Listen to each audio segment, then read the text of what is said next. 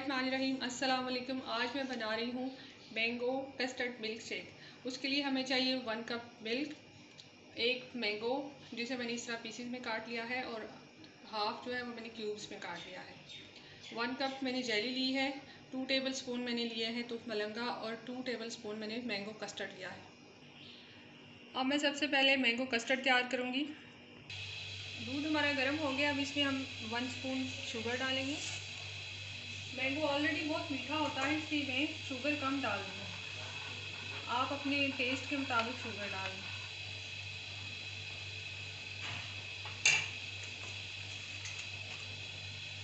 मैं custard add कर रही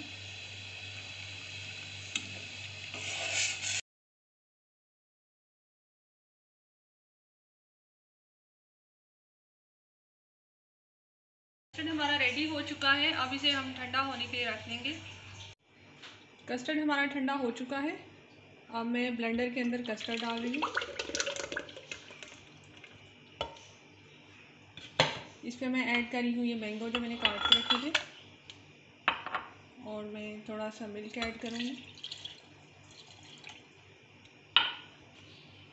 अब मैं ऐस आइस डाल रही इसमें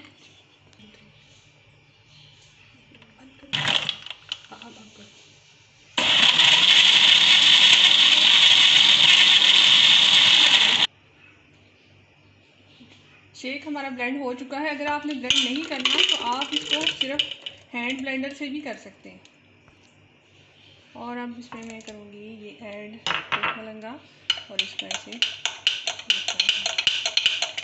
बहुत जल्दी बन जाने वाला इजी और फ्रेश मैंगोज़ का ये फ्रेश फ्रेश गर्मी के मौसम का शेक है। बहुत ही छोटे, बड़े सब पसंद करते हैं।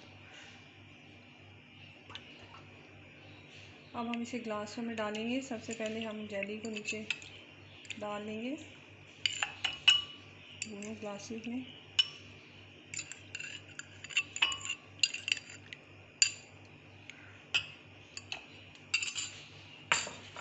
फिर हम इसमें अपना शेक ठंडा ठंडा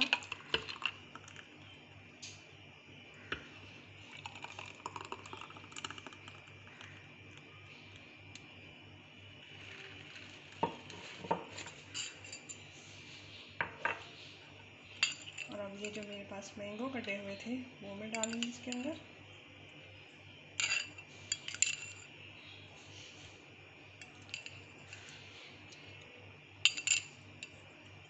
देखने में बहुत टेस्टी लग रहा है और बहुत ही यमी सा लग रहा है। मैंगो गर्मी का सबसे किंग फ्रूट है और ये इसकी मिल्क शेक जो है, वो तो सबसे बेस्ट होता है। छोटे, बड़े, हर कोई इसके